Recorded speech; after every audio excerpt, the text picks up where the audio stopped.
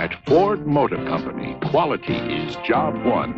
This is one of 1,100 employee involvement groups formed by Ford and the UAW. No squeaks, no water. This group reviewed the body assembly goals for the new 1984 Mercury Topaz. We've got to make sure everything's fit.